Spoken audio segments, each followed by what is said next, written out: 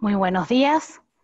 En nombre del Banco very good morning to all. On behalf of the Inter-American Development Bank, we would like to welcome you all to this event, the Inequality Crisis, with the launch of the report. In this event, we'll have the president of the IDB, Luis Alberto Moreno, as well as Marcela Melendez, chief economist from UNDP, Martin Rama, who's the chief economist for Latin America and the Caribbean at the World Bank, and Alejandro Werner, who is the director of the Western Hemisphere Department at the IMF. This event will be conducted in Spanish, and there will be interpretation into English. Click the world icon in the bottom of your screen and select the language. Adelante, señor Parrado. Mr. Prado, you have the floor. Thank you very much, and good morning, everyone. My name is Eric Parrado. I am the Chief Economist and General Manager of the Research Department at the IDB. On behalf of the IDB, I would like to extend a warm welcome to all of you for this launch of the new publication, which is the Inequality Crisis, Latin America and the Caribbean at a Crossroads.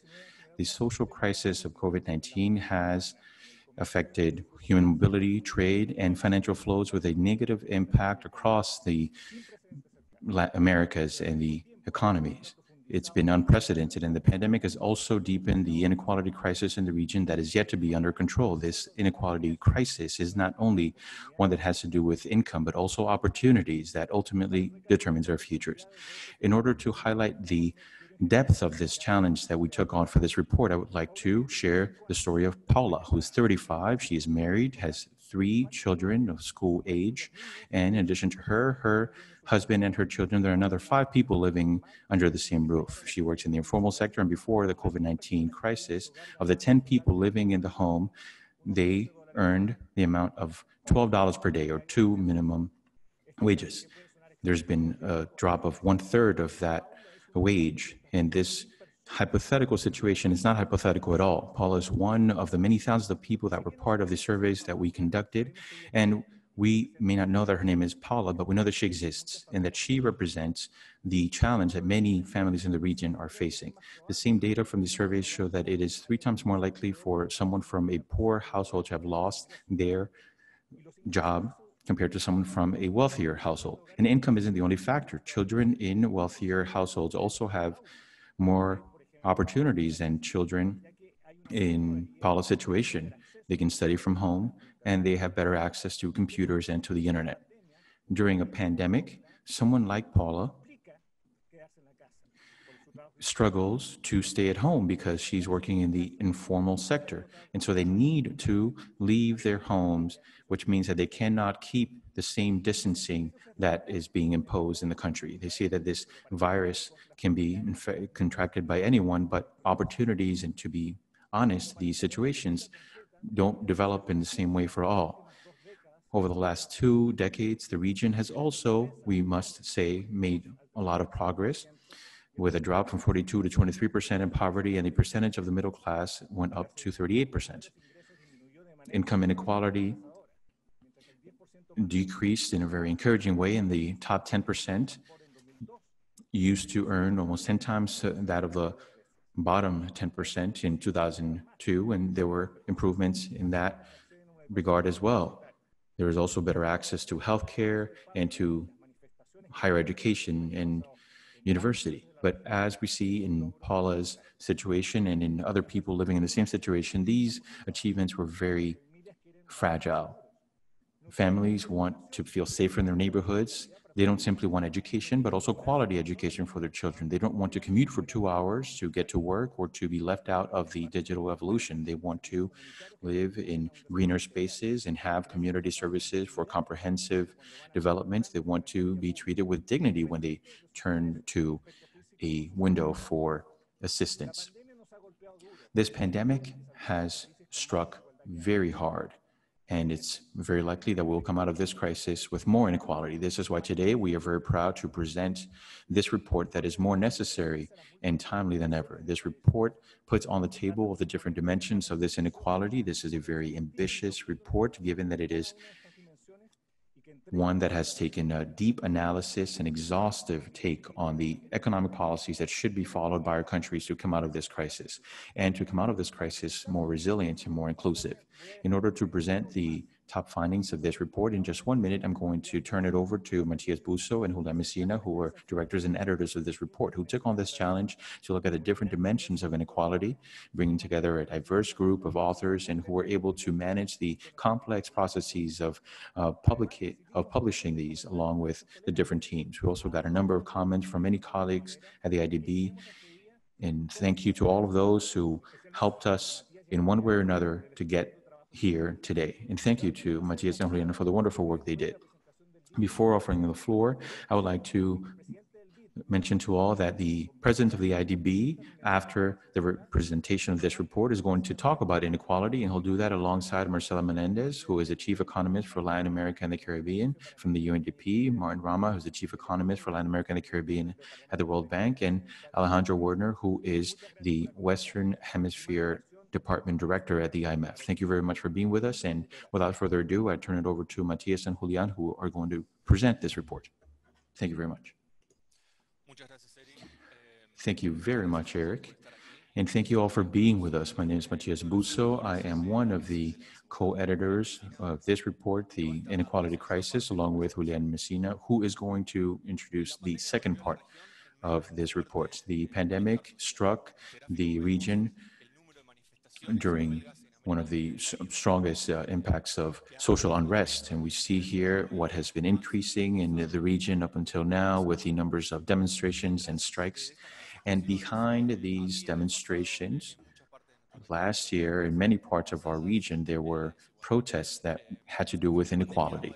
The pandemic is going to leave us in a region that ha will have higher degrees of inequality, and inequality is likely to be one of the main challenges in formulating the right economic policies. Inequality when it comes to income and opportunities, once it becomes excessive, it has an impact on social cohesion. And without social cohesion, we cannot fully uphold the social contract living in a society. This is why this report, in order to understand the depth and dimensions of inequality, looks at the reasons behind these realities. This is the fruit of work carried out by a large number of people. There are 14 chapters that cover a wide variety of topics. Obviously, given time restraints, we will not be able to go into all of the chapters. What we will do today is try to shed some light on some of the cross cutting themes that come out of this book.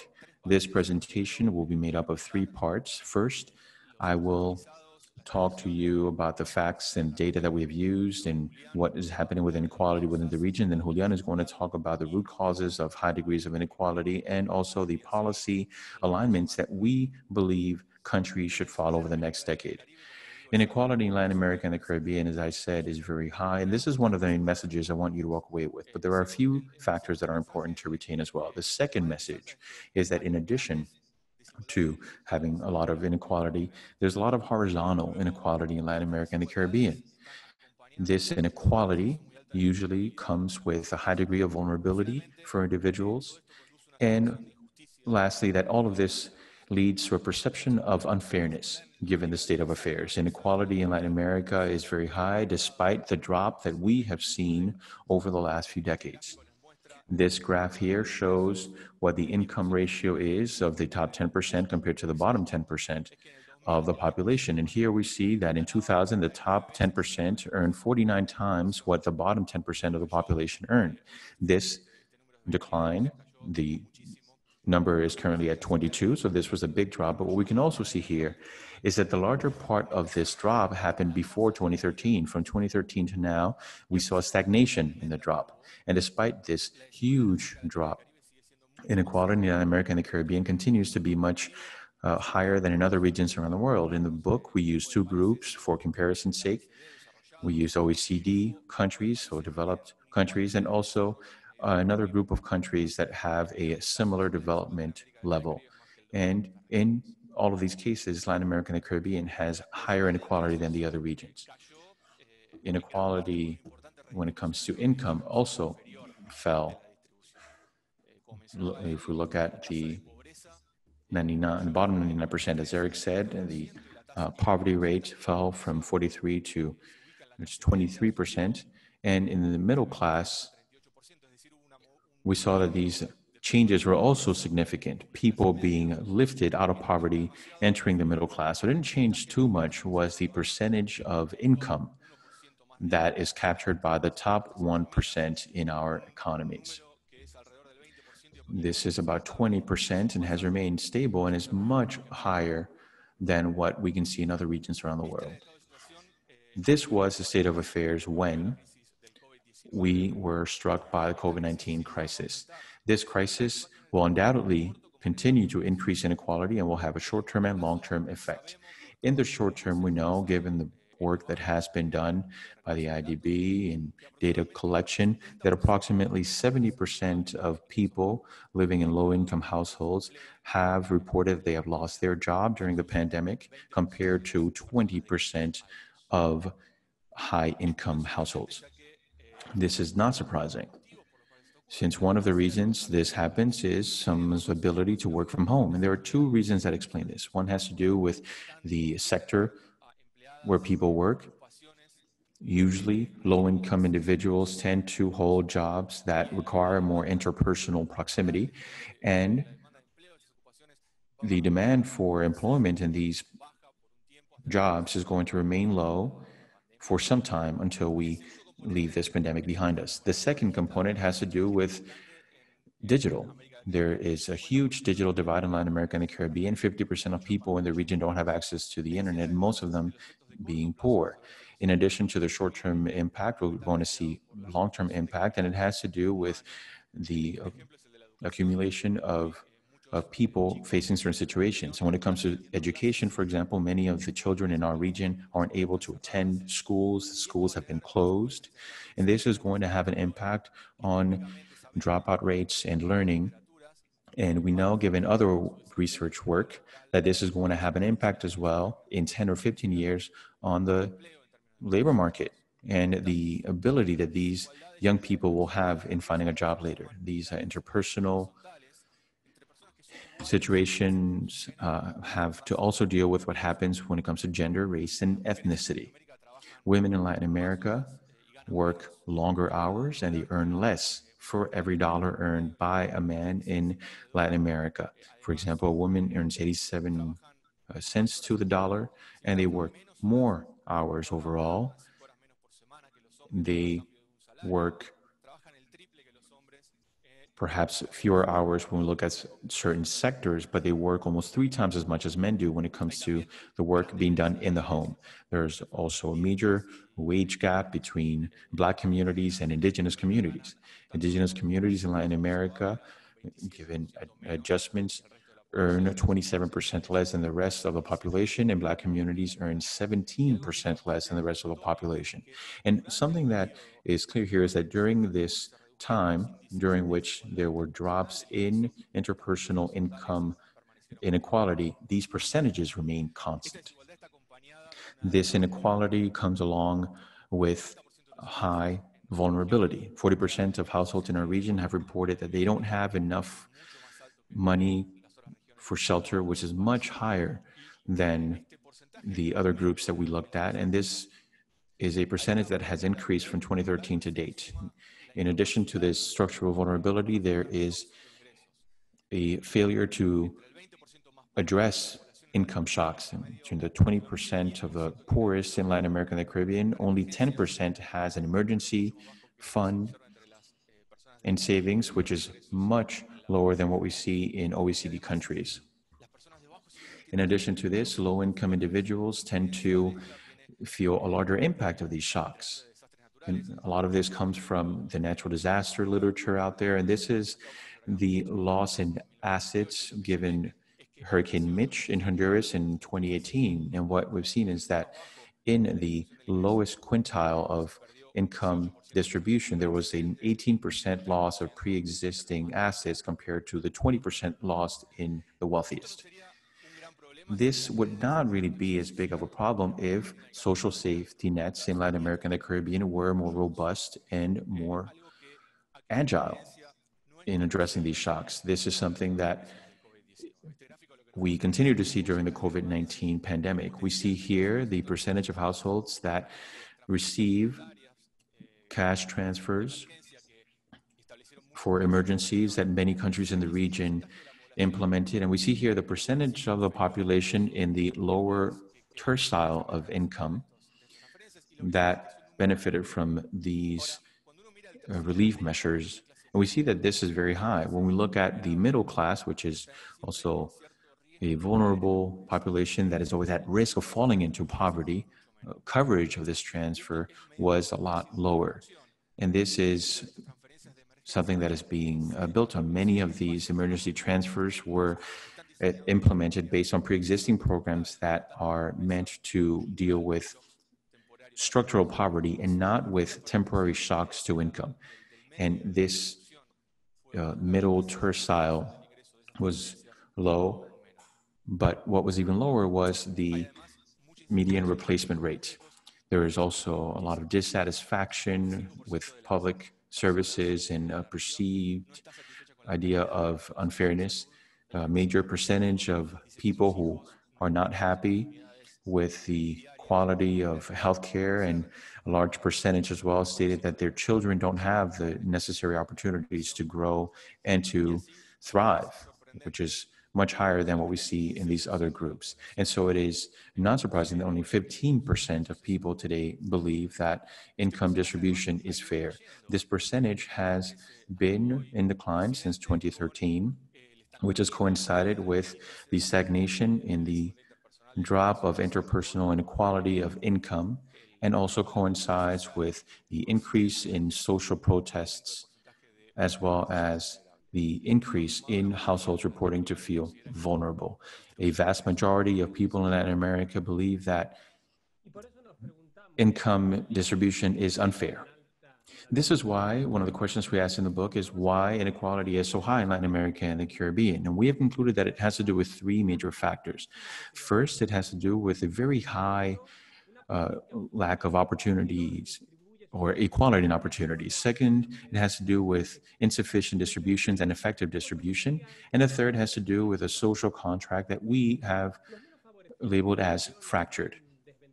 The most disadvantaged in the region have been disadvantaged from birth.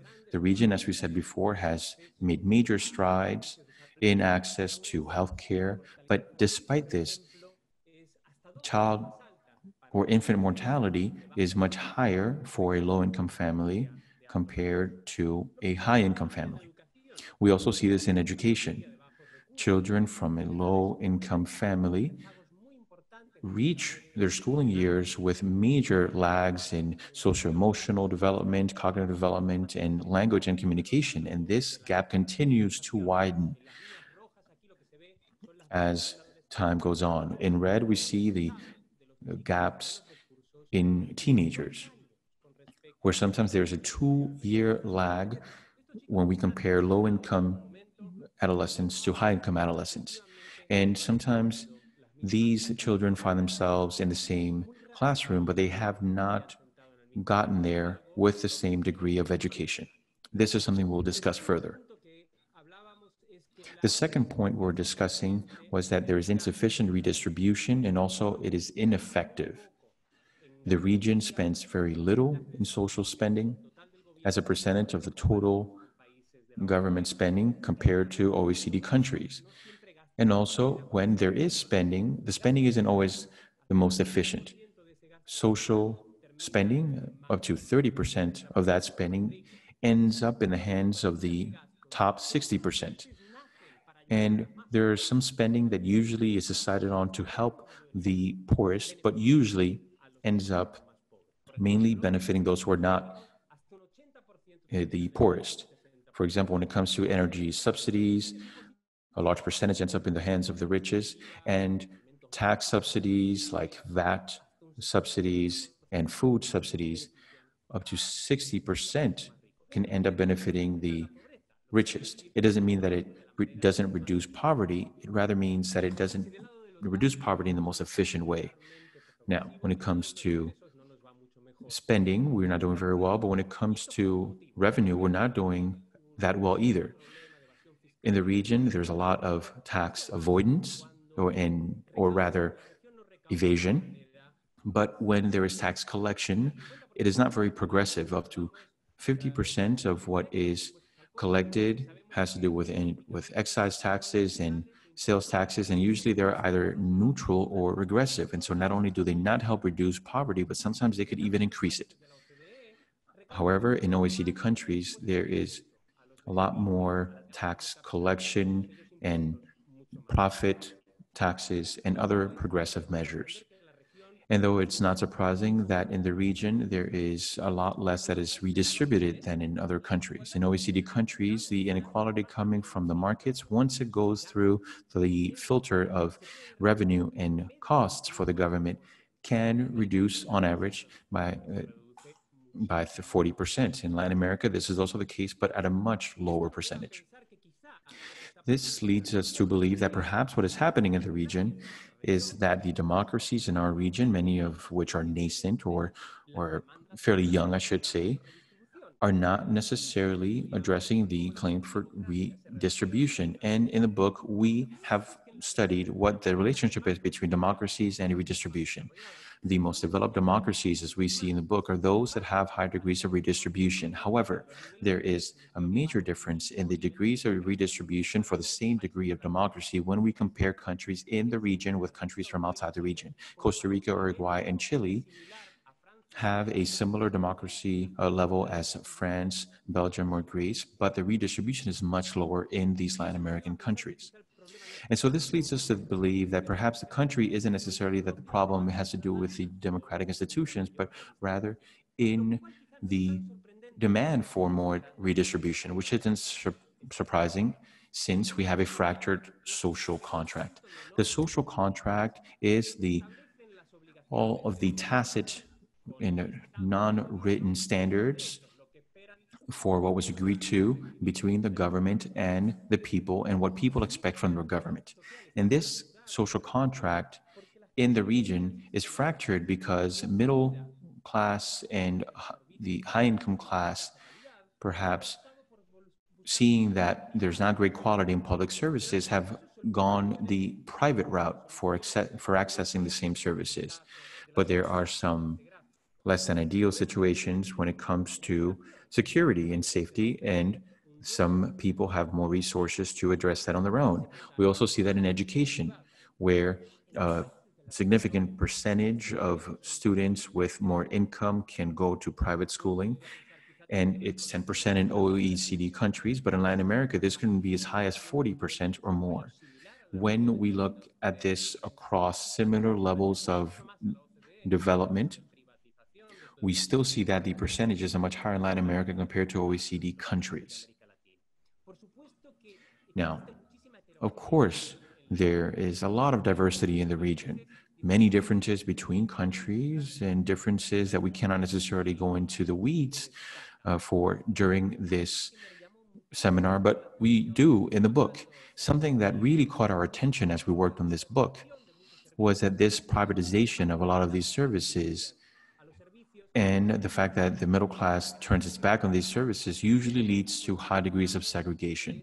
In this graph here, what we show is an indicator for secondary schooling segregation, and it shows that a young person with low income has fewer opportunities of having some sort of contact with somebody from a different income level. Now, this is never a one to one ratio. In OECD countries, uh, this ratio is at 2.7, which means that high income children tend to have more contact with low income children. But in Latin America, what was interesting wasn't necessarily that this is a larger ratio, but rather the extent to which it's larger. The median in Latin America is 6.5 for this indicator. And we look at countries like Chile and Peru, this indicator is at 10. And this means that a low income young person in Chile or Peru pretty much has no chances of running into a, say, a high income student within schools to do their homework or to work on a project and this talks about what happens in education, but it also talks about the social cohesion we can expect in the future when these young people reach adulthood and what happens when they have never met each other prior to that point. Segmentation in Latin America can be seen in a number of different dimensions as well. It happens geographically. Here in this graph, we see the differences in income levels within countries, between provinces, or between states. And these differences, as you can see here, can be quite major. If we want to understand the geographic determining factors for inequality between peoples, the differences between states, which can sometimes be quite significant in terms of income levels, or the differences between cities, we don't quite find the explanation for the inequality between people. Because in rich cities, you have poor people, and you in, in poor provinces, you have rich people. There is a major difference when we dig deeper between neighborhoods. In Brazil, for example, up to 12% of inequality between people can be purely explained with the differences we see in neighborhoods, which is a key factor here because it talks about a different degree of segmentation. Poor and rich people in Latin America are geographically close, but they're separated by usually invisible walls.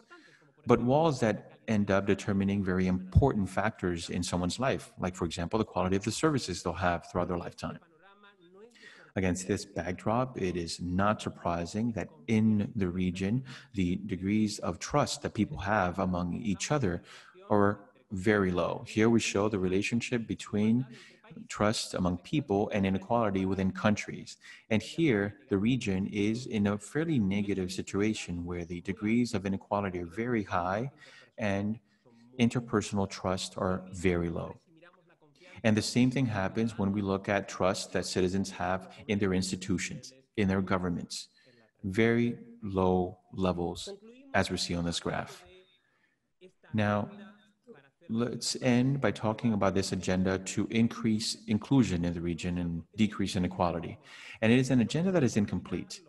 It is incomplete because we have already started it. We cannot forget what progress has already been made. The region has taken major strides in access to integration into healthcare for the poorest and the most disadvantaged, and has worked a lot on keeping this poverty to turn into malnutrition through support programs such as conditional transfers and non contributory pensions. But it is incomplete because these degrees of inclusion and inequality in the region continue to fall below the levels we wish to see.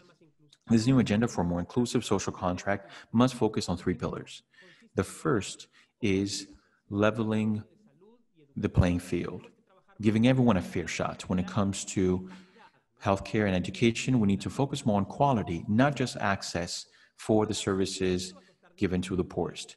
But this is going to come at a cost a cost that perhaps tomorrow or we come out of this pandemic will not necessarily be within our reach. And so this will need to be a policy to be phased in, but we need to prioritize. There are some spending that we cannot let go unaddressed. For example, education. It's one of them. And this is because that is going to have a strong impact on social cohesion and inequality in the future.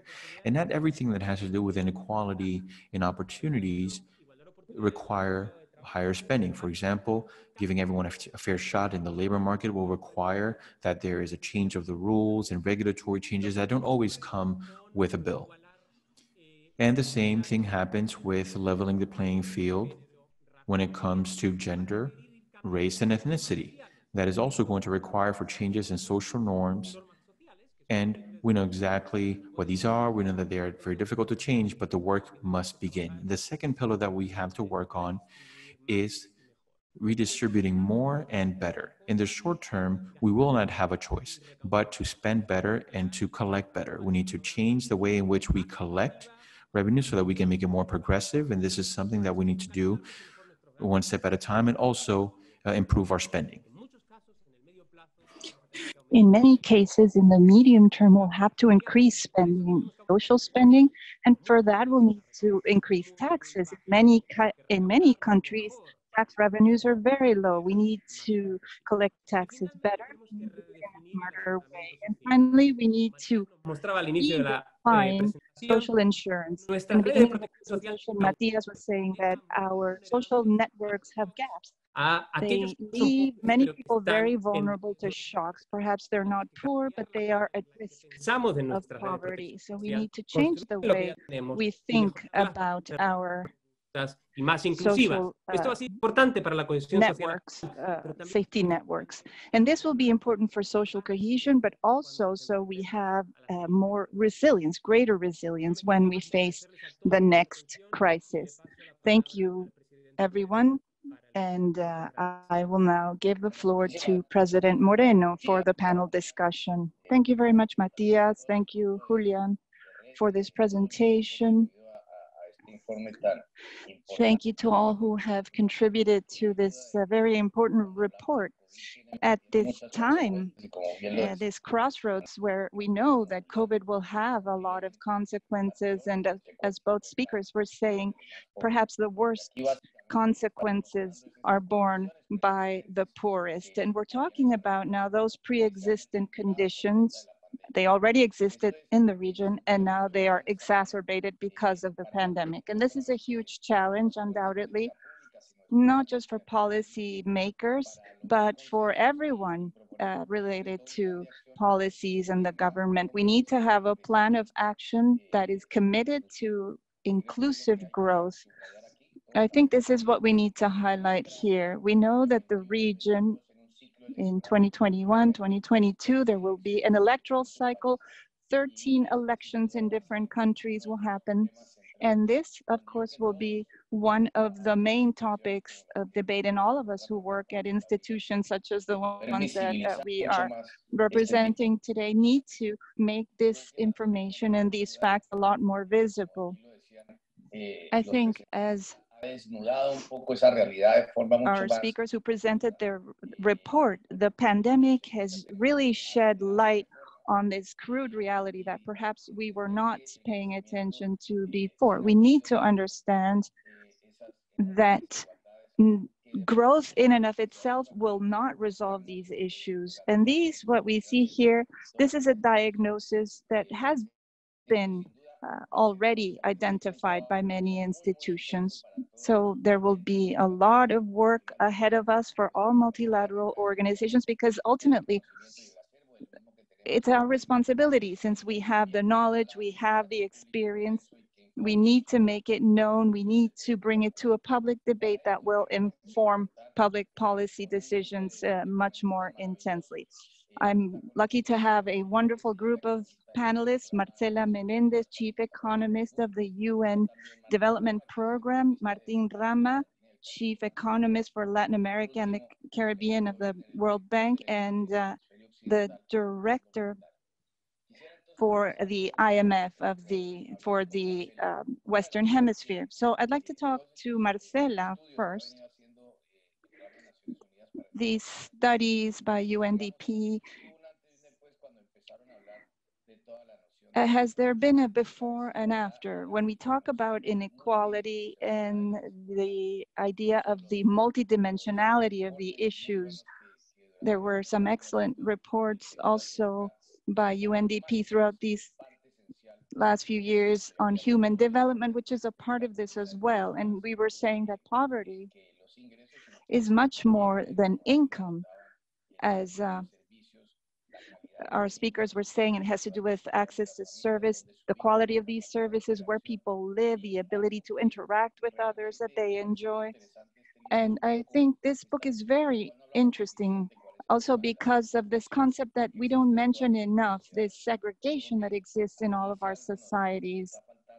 If there's something that perhaps uh, we need to pay more attention to now during this time of lockdown, of isolation, of going back to what's essential, we need to think also that we have to try to lend a hand to our neighbors and uh, try to make sure that our societies are more equal. So what can we do to try to start breaking up, putting an end to this segregation? Thank you very much, and thank you very much for presenting this very timely and comprehensive report.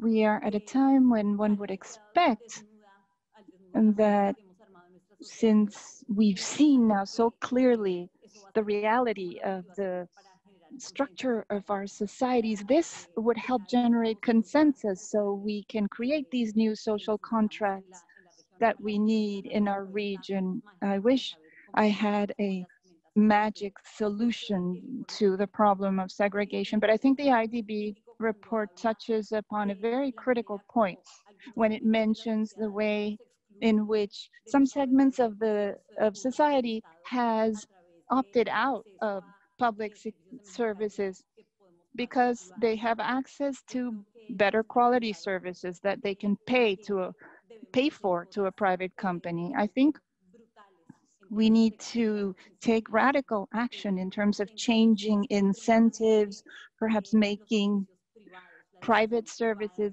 and private education much more expensive because when one opts out, one does not demand with the same vehemence that uh, public services be quality services. And I think even in public spaces and investment in all these places where we need to be, needs to be demanded. As Julian was saying, it's dramatic that we don't get to know others from our society in our educational spa spaces. And there has been success, some success in some Latin American countries in bringing together people who normally would never interact.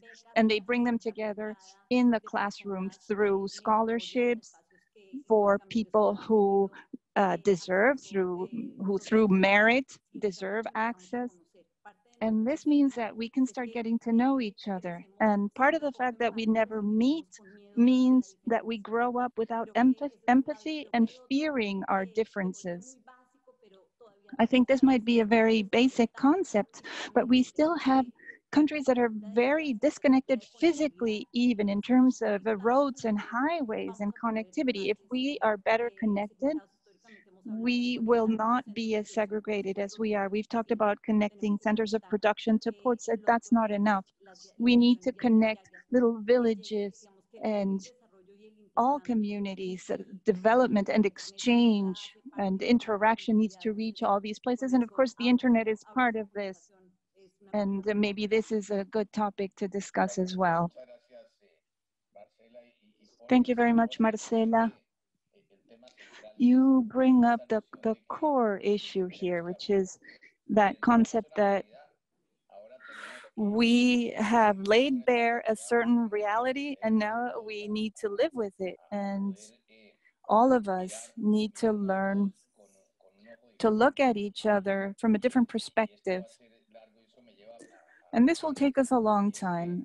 And this leads me to a question I have for Alejandro. There's no doubt there's an agenda that's been pending for years in Latin America, and it's the idea that we do not have growth with equality. And if there's anything that the pandemic is making necessary, and this was necessary even before COVID, as we saw at the end of 2019, now with all these restrictions and uh, these, these fiscal limitations, and uh, Alejandro is shining a, light, a light on that. And also with the contraction of our economies, what do you think countries can do to begin to travel along that road? There's first a need for financing of these projects and focusing also prioritizing the expenditures that need to be made in order to start to provide relief for some of the worst effects of the pandemic. Go ahead, please. Yes, thank you very much, Luis Alberto, for uh, the invitation to be a part of this panel. The book, the report is very good. And I think this is the right time for this book. The book clearly responds to the social movements that we saw in Latin America last year, and these will grow when we come out of COVID at the end of the day, the situation that Latin American economies will be experiencing once we've succeeded in controlling the pandemic will be worse in terms of poverty, distribution of income, fiscal capacity, all the factors that you mentioned. And there are some risks here. In the short term, and this has to do with your question, governments reacted within their uh, abilities and possibilities in quite an aggressive way, about five points of the GDP, percentage points of the GDP in many countries, even 10 points, or like Brazil and others a lot less, like Mexico, which only spent one percentage point of GDP on the pandemic.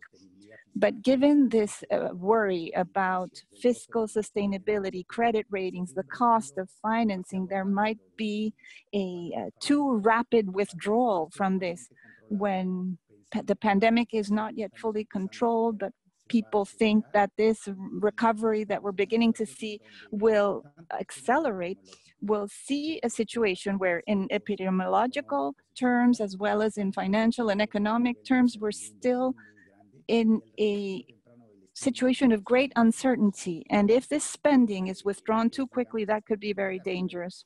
And so this first agreement that civil societies need to reach is precisely here in order to support this spending that doesn't need to be as high as it is this year in 2020, but it needs to be significant. There needs to be national agreements.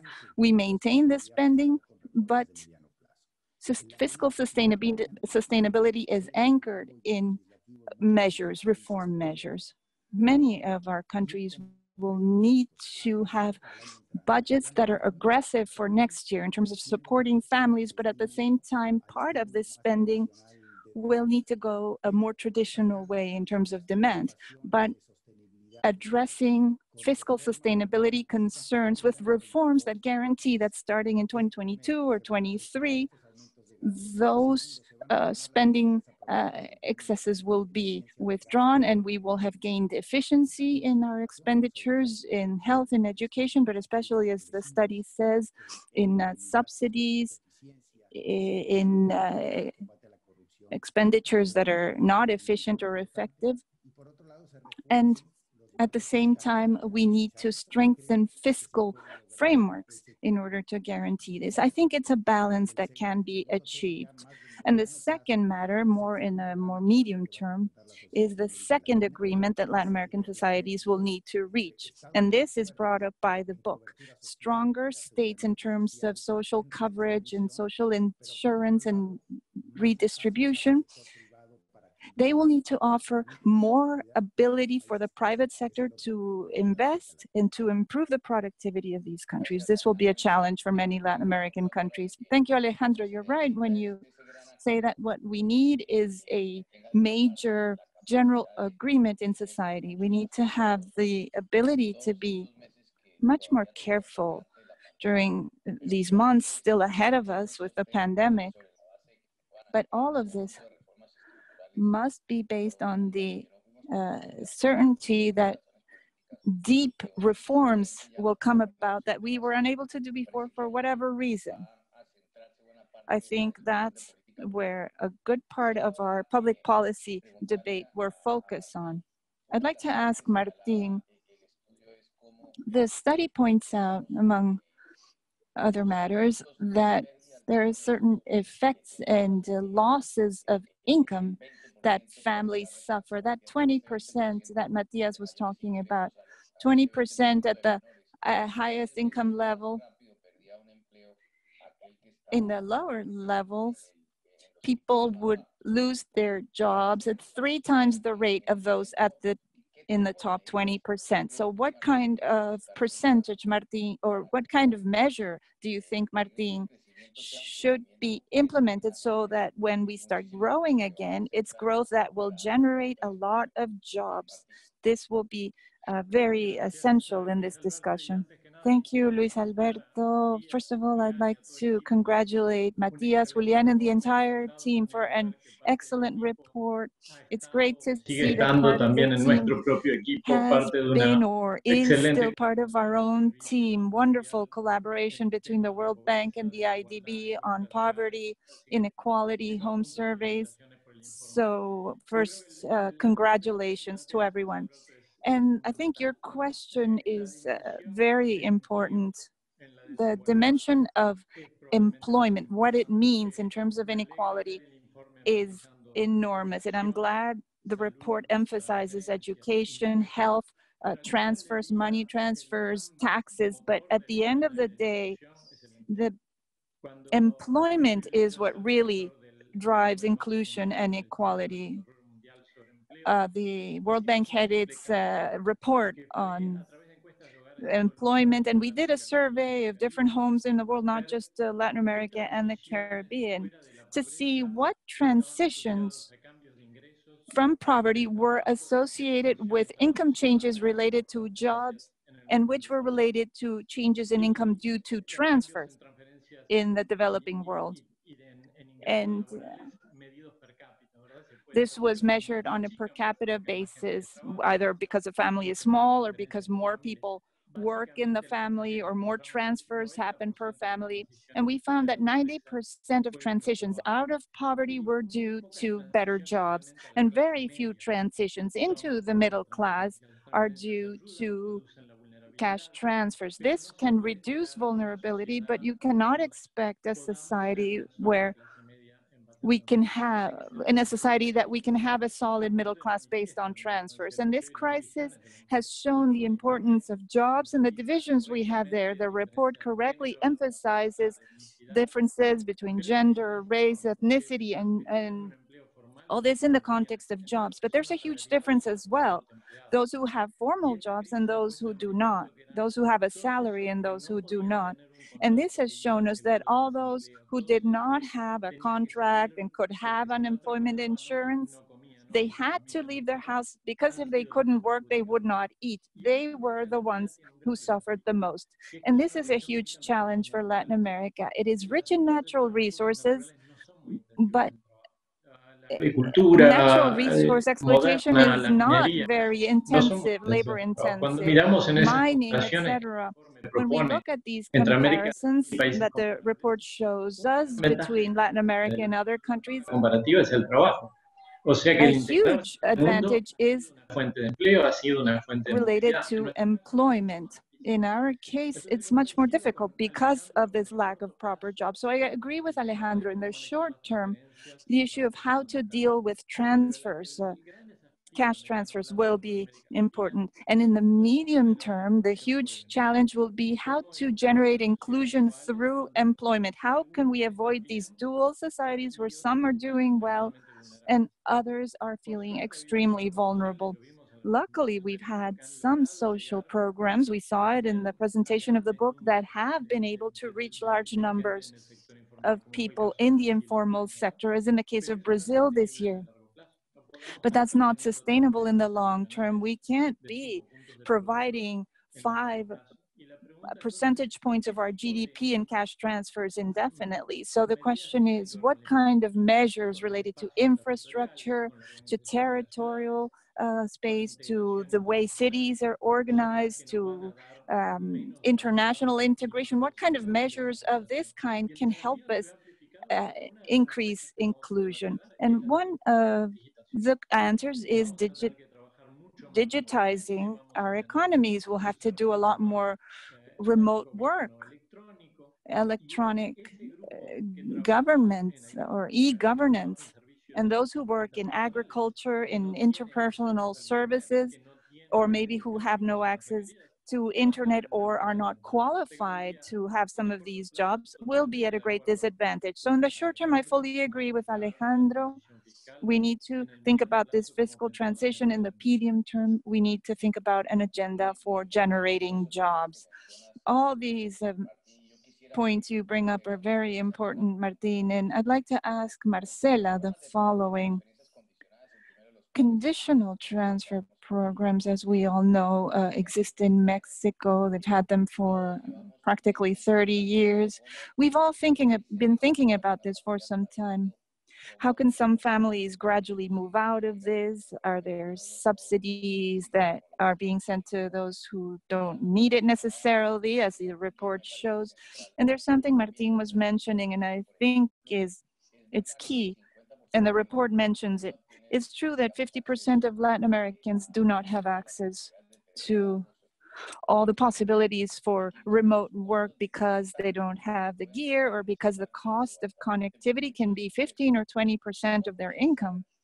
How can we think about new types of transfers? How can we organize them better and change the incentive structure that we had once we start leaving the pandemic behind so that these transfers can be much more effective and help people towards this new social contract that we've been referring to.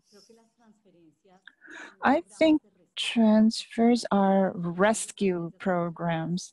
These were conceived as ways to mitigate poverty and they should be just a stopgap measure. If the rest of the support system exists, it, they should not be necessary. But if your education system, your health system doesn't quite work, then you have this issue. In the context of the pandemic, cash transfers are a rescue measure and should be transitional, should be temporary. And I think we spent a lot of time thinking about the fact that markets where there's so much informal work, there what we see is that a large number of our workers are invisible and we don't even know that they lost their jobs in the real world, in an ideal world, we should have rescued those workers, but we only had records for transfers to the poorest, but not some of these workers who lost their livelihoods. There are a lot of people who lost their source of income. They were not in the group of the poorest, and we are not reaching them. So I agree with Alejandro. I think our efforts now in uh, cash transfers to families should continue. It's a way to maintain a minimum level of demand and to mm, give people a way to survive. But we need to understand what it is. It's not a solution. And I hope that we can think about how our social protection systems are flawed and need to be fixed. And Julian said something that made me reflect uh, talking about uh, labor markets, uh, maybe just regulatory changes are needed, maybe money is not needed. I disagree. I think we have social protection systems that have given privileges to certain segments of society, and changing these will require achieving a certain level of con consensus. Again, a new social contract. We understand that this is not working, but some people will be losing out on something when regulations change. And so we need to all reach a new social contract. Thank you, Marcela. Martin was saying something that I thought was key. Even, um, especially our smaller economies have grown through foreign trade. There's really no other way for them to do it. Mexico, perhaps, is an example.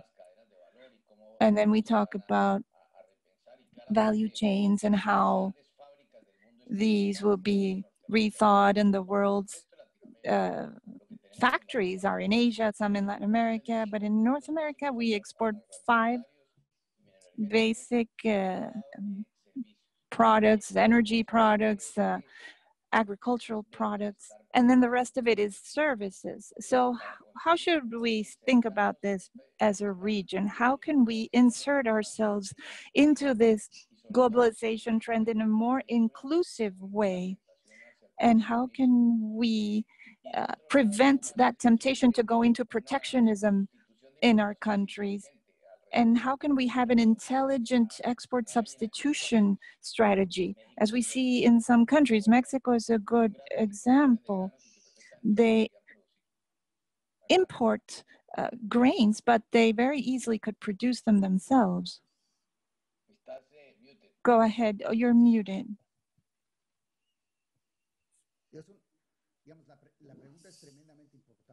This is a deeply important question. It's related to growth in Latin America. And this is because there are few countries in Latin America that have uh, the openness and what we've seen historically in economies when you are more open you generate more jobs there's more competition and there's more economic growth. In emerging economies probably these would lead to better distribution of income as well. In this current situation there's the fact also that geopolitical tensions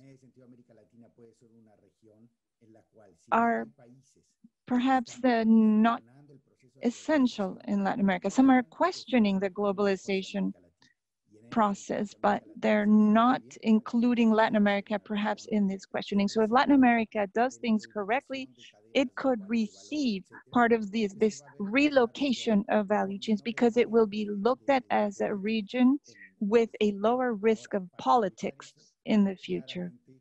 And to take advantage of this, of course, we need to vastly improve our infrastructure, our regulatory frameworks. We need to generate certainty as well in these frameworks. We can't reinvent regulatory frameworks every six months according to who is in power.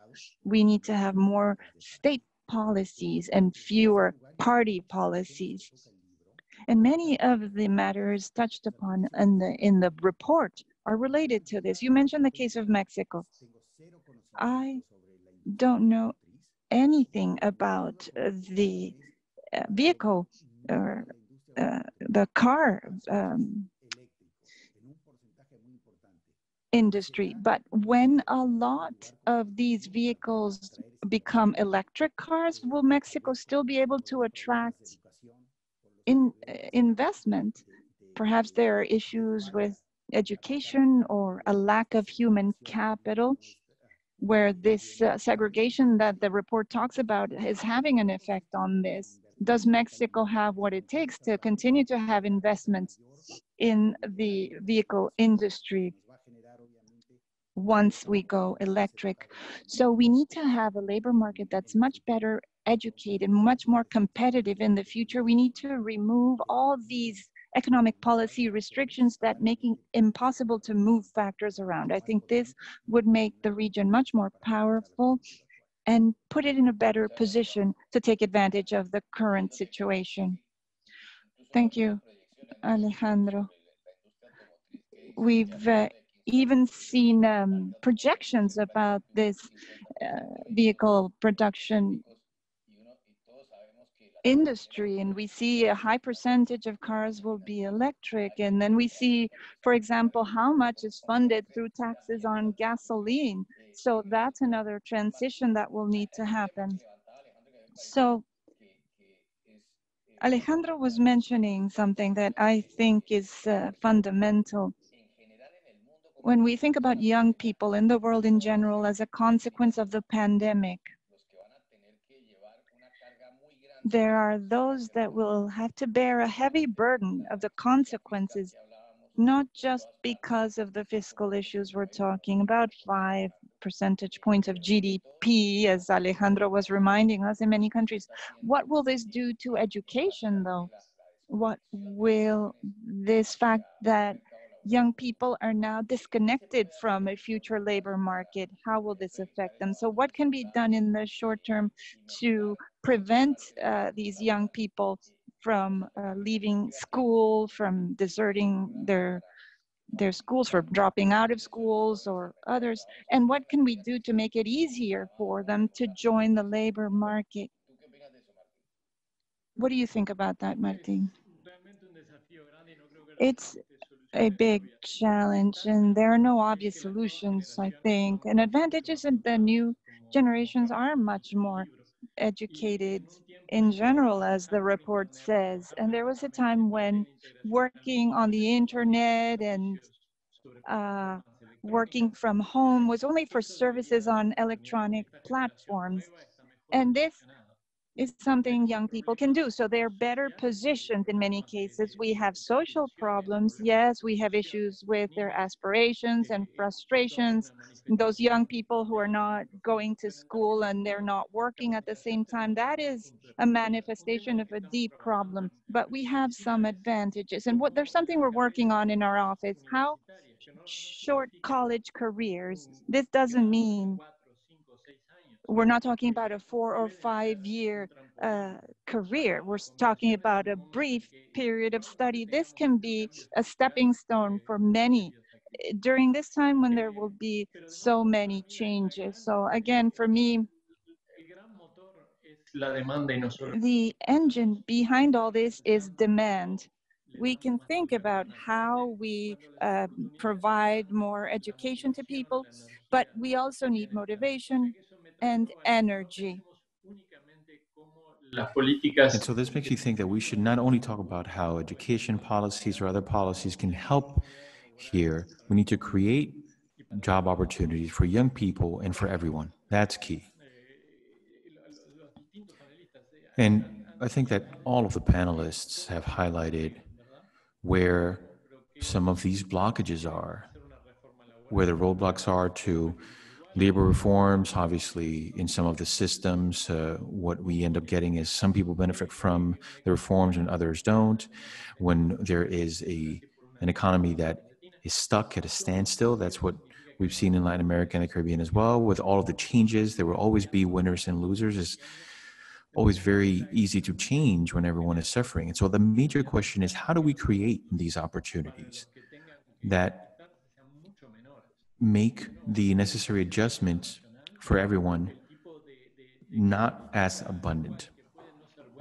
And how we can look at the necessary policies be implemented, even if they're not great for other regions, but they work in Latin America. How do we add value to what we have locally? How do we work in line with competition standards? How do we look at scale? How do we look at how much revenue is coming into the government? In countries where things are going well, it's still important to look at what's being done right and what's being done wrong, and it helps a competition. We know that in our economies, we're fairly small economies, maybe with a few exceptions, Brazil and perhaps others. But we can always learn from what is happening in other places. We see what the USMCA has done. It was signed but not ratified uh, between the EU and Mercosur is another treaty. All of these can come into play to increase demand and have young people have opportunities to actually seize. Thank you very much. What all of this makes me think is that part of the solution for young people will have to come from solutions that are the fruit of thinking outside of the box. Having, having for example, training programs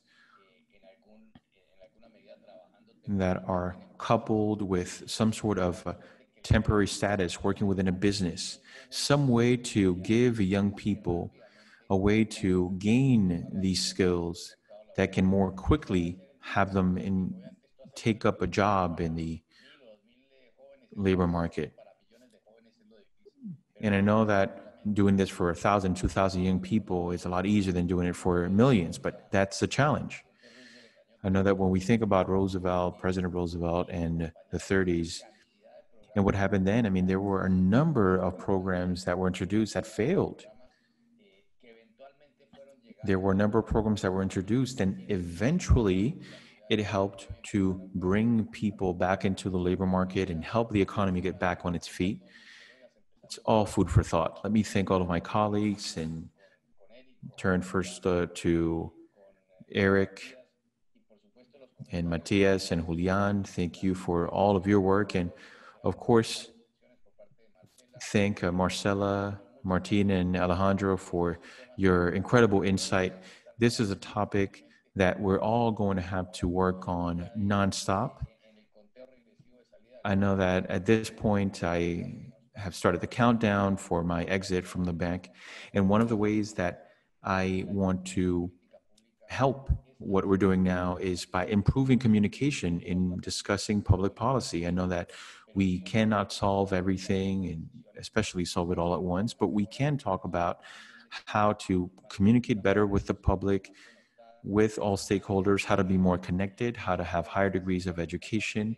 And I am certain that if we're able to have better communication, we can start to forge a path that can bring us out of these issues that have been challenges for our region for too long. Once again, thank you all very much. Thank you for being with us. Muchas gracias y felicitaciones. Gracias.